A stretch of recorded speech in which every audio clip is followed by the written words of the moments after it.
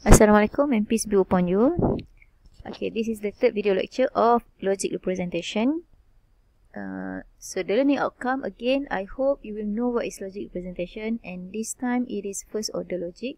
At least you know what is the difference or the additional of uh, first order logic compared to the previous two logic, that is propositional logic and predicate logic.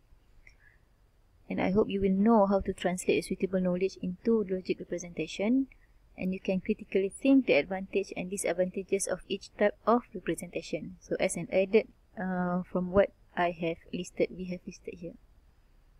So uh, now is logic presentation. We have looked into production rules, semantic network, object attribute values as well as frames. Okay, so first order logic.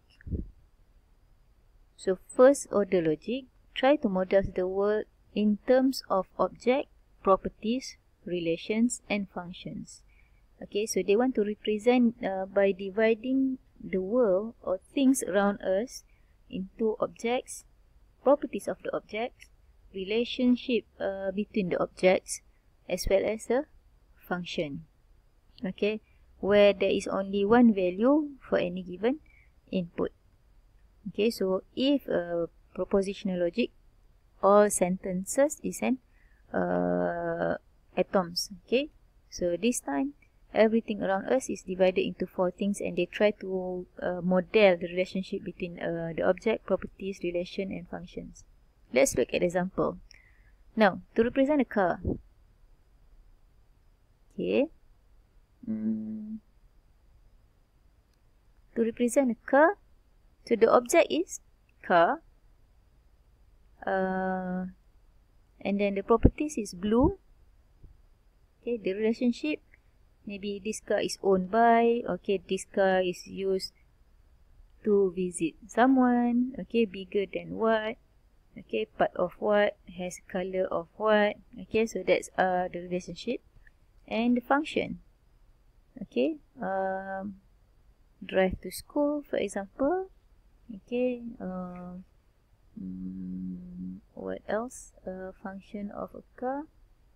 Mm, owned by is a relationship. Mm, maybe functions mm, to pick up kids alright? Or go to work. Okay so that is a function of a car. So this is an example how a first order logic try to explain about car. Okay so the user will need to provide a constant symbol. Okay, logic, remember they use symbols. Uh, so we have symbols and we have a function symbol. So function symbol is uh, father of Mary. So remember uh, when you learn maths, you have X and then you have F and then you have X inside the bracket, right? So same with this, father of Mary is equal to John. So this is a function and then predicate symbol. Okay? The outside for example this one greater okay or green or color could be the uh, relation function or properties. Okay? The one inside is object. So for example this sentence 5 is greater than 3 grass is green. So you can also write here uh, shirt. Okay inside the bracket so grass and shirt are greens. Okay uh, if the output if the outside is color okay so this is the relation okay properties. So grass color is green. Okay so this is to map uh, individuals to truth values. Okay what is the values of each individual or objects so what is the addition in first order logic? Okay, they have a quantifier. Okay, so we will look at this, the universal uh, A or existen existential. At the same time, uh, FOL also have sorry okay FOL also have connectives okay similar with PL okay and you also have symbol okay So the first order logic, sentences are built from terms and atoms.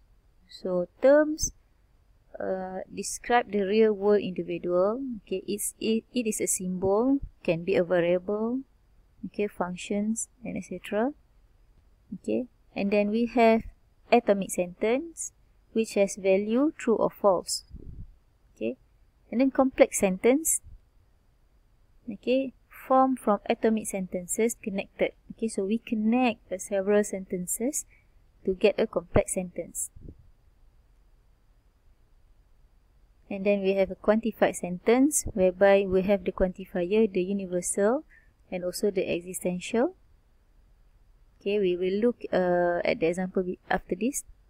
And then a well-formed formula, okay, is a sentence containing no free variable. Okay, for example, for every x, okay, where x is py, has x bound as a universally quantified variable but y is free okay so let's uh, as an example say x is man y is woman and p is marries so we can say this is every okay for each for every okay universal so for every so for every man, okay, man likes woman. Okay. So they bound the x and y, but y is free. Y is not every. Okay. So in these sentences, we can say probably there is woman who marries a woman. Alright?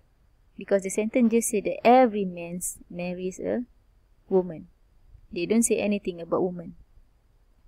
Okay. That's just an example. Okay, so what are quantifiers?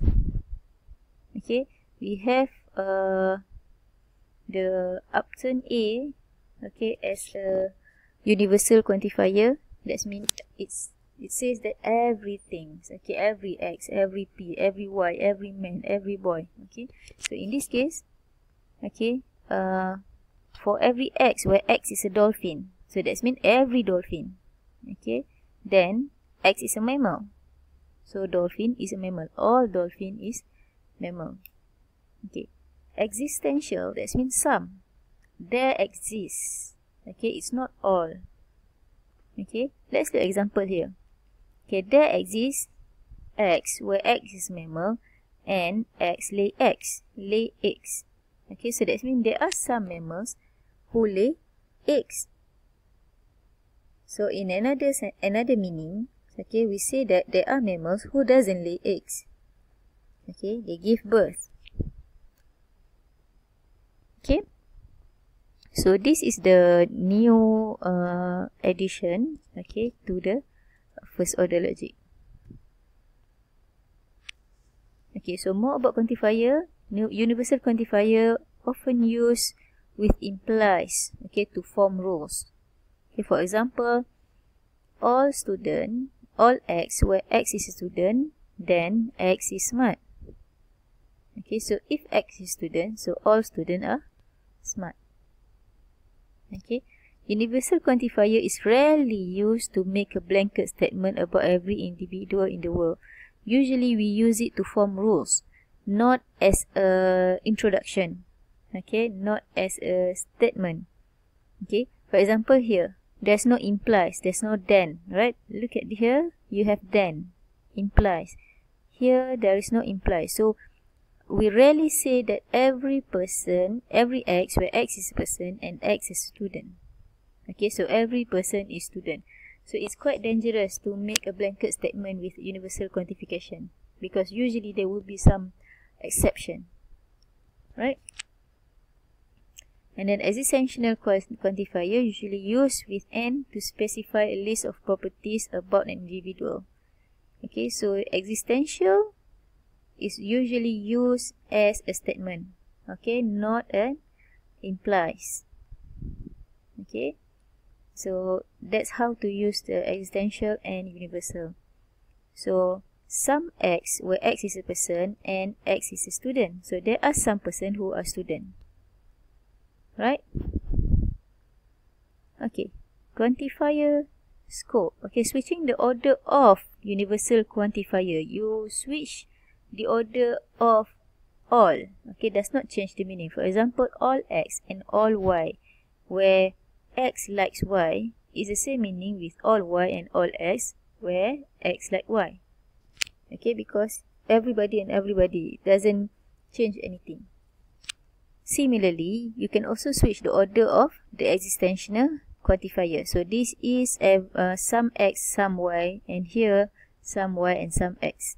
But if it's a combination of universal quantifier and existential quantifier, you cannot switch because it will change the meaning.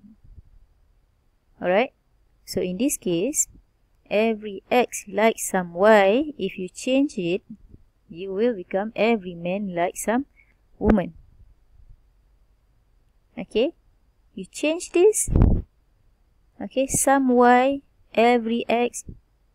So every x, okay, like some why No, some man likes every woman. Okay, so it's different meaning. Right. Now, quantified uh, inference rules. Okay, this is a rules uh, of using a quantifier.